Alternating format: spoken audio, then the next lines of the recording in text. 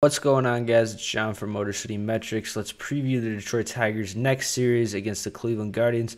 This is the Detroit Tigers' first series against the Cleveland Guardians of 2023. The Cleveland Guardians, obviously, the defending American League Central champions. The Cleveland Guardians heading into their series against the Tigers are 9 and 7. The Detroit Tigers obviously 5 and 9. The Guardians are coming off a series win against the Washington Nationals and for the Guardians some numbers on them. They are first in Major League Baseball with 25 steals on the year, but they are 29th in baseball with just eight home runs, two fewer than the Detroit Tigers. Their team ERA is at 4.14, which is good for 12th in baseball. The Detroit Tigers team ERA so far this season is at 5.87. So let's talk about the Cleveland Guardians offseason additions. Josh Bell was obviously their big addition, giving him a two year contract. A very, very surprising move for the Guardians, a team that does not usually spend a lot of money.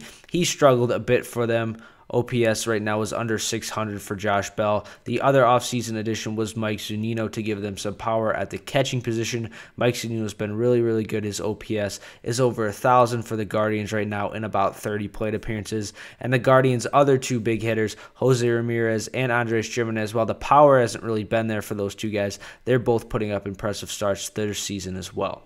The pitching matchups for this three game set Matt Boyd will go for game one, game two will be Eduardo Rodriguez, and game three will be Spencer Turnbull for the Detroit Tigers. All three coming off solid starts and will look to continue their early season success against the Guardians. For the Guardians, Hunter Gaddis will start game one. He is a fifth round pick in the 2019 MLB draft. In game two will be Peyton Battenfield, and in game three will be Cal Quantrill. And for the Detroit Tigers, we are very, very lucky. We are not going to have to see Shane Bieber, and we're not going to have to see Triston McKenzie, as Triston McKenzie is unfortunately injured to start the year. But I feel like for this series, the number one thing for the Detroit Tigers is keeping Jose Ramirez in check. Obviously, we all know he has been a huge Tigers killer over his career, so keeping him in check will be huge. Also, not letting Josh Bell get going as he struggled if the Tigers can keep him struggling, that would be very, very big for them as well. For the Detroit Tigers offensively, we really want to see the two youngsters, Riley Greene and Spencer Torkelson, get going.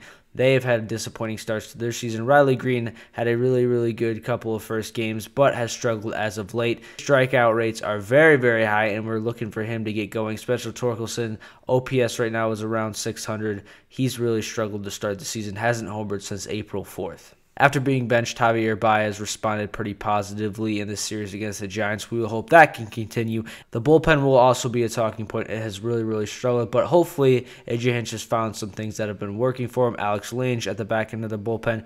Jason Foley's been really, really solid as well. Chasen Shreve, the Detroit Tigers bullpen threw seven scoreless innings in game two against the San Francisco Giants. We, we are hoping that will continue. But let me know your guys' expectations for the series against the Cleveland Guardians. Obviously, the Tigers have struggled against the Guardians in recent years. Last year in the season series, the Guardians won 10 to 9, so it was actually very competitive last year. The Detroit Tigers had a minus 14 run differential through 19 games for the Guardians, which really isn't that much. So I do think this could be a competitive series. Do you think the Tigers could take two out of three against the Guardians? That would be huge for the Detroit Tigers to be at 7 and 10 to start the season. A very, very huge improvement over the last couple years for the Tigers.